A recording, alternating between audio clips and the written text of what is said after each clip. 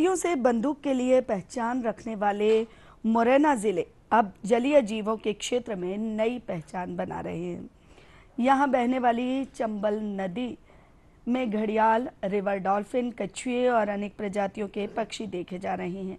इन जलीय जीवों को देखने के लिए बड़ी संख्या में पर्यटक पहुँच रहे हैं।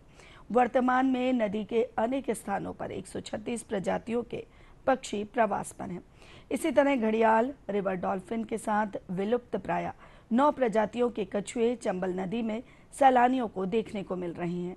जलीय जीव और पक्षियों का पानी में इतराना पर्यटकों को अचंभित भी करता है।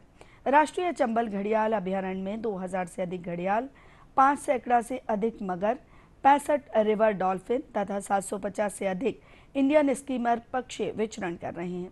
रेत और पानी में इनकी गतिविधियाँ सैलानियों को अपनी ओर आकर्षित कर चंबल नदी में निरंतर आने के लिए प्रोत्साहित करती है। चंबल नदी के प्रदूषण मुक्त पानी की तलहटी पर मिल रहा शुद्ध भोजन इंडियन स्कीमर को आकर्षित करता है। इंडियन स्कीमर को देशी भाषा में पंचीरा कहते हैं। सैलानियों का मानना है कि चंबल नदी गंगा से भी साफ़ है। इस चंबल सफारी का प्रचार प्रसार होने के साथ साथ आवागमन के सुलभ रास्ते तथा खान पान की व्यवस्था होनी चाहिए। घड़ियाल है और सात सात सौ चालीस मगरमच्छ है। डॉल्फिन छियानवे है।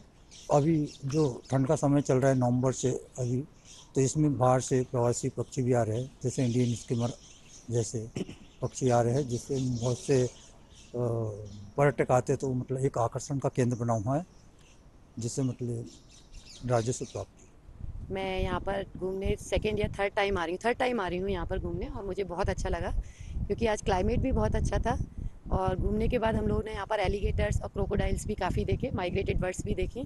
तो बच्चों ने इन्जॉय किया, हम लोगों ने भी काफ़ी इन्जॉय किया इनफैक्ट उसके बाद यहाँ पर आकर बच्चे ये रेस से भी खेल रहे हैं। तो बहुत अच्छा लगा यहाँ पर आकर। मतलब एक टूरिस्ट ऐसे डेस्टिनेशन है कि कोई भी हमारा रिलेटिव या फ्रेंड आता है तो हम यहाँ पर घुमाने ज़रूर लेकर आते हैं, चंबल सफारी कराने के लिए। यहाँ पर ये चंबल नदी देखा, पुल देखा, दो तीन हैं यहाँ पर, और मगरमच्छ और घड़ियाल भी देखा, चंबल का पानी बहुत सफ़ा है हाँ? यही हमने देखा, अच्छी जगह है ये। मुझे अच्छा लगा, यहाँ पे एक्टिविटीज़ बहुत है बच्चों के लिए करने के करने के लिए। आप यहाँ बच्चे आएँगे, थोड़ा और फ़ूड क्वालिटी यहाँ पे हो जाए डेवलप हो जाए तो ज़्यादा बेटर रहेगा। मैंने यहाँ रिवर में विज़िट किया। मुझे बहुत अच्छा लगा। हमने बहुत सारे एलिगेटर्स देखे माइग्रेटेड बर्ड्स थे क्रोकोडाइल्स थे, यहाँ पे अच्छा लगा।